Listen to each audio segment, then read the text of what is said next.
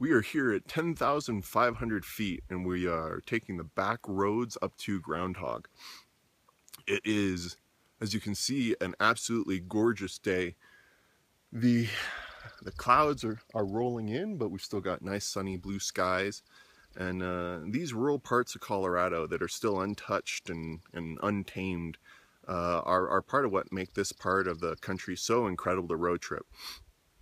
And out of all the places I've been, from parts of Argentina to to Scotland, uh, the the Rockies and the San Juan Mountains here uh, have always held a special place in my heart, just because of how absolutely gorgeous it is and how kind of untamed and untouched it is, but also how accessible it is at the same time.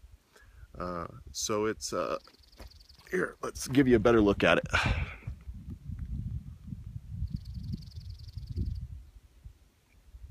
The birds and there's chipmunks everywhere and all the wildflowers are in bloom.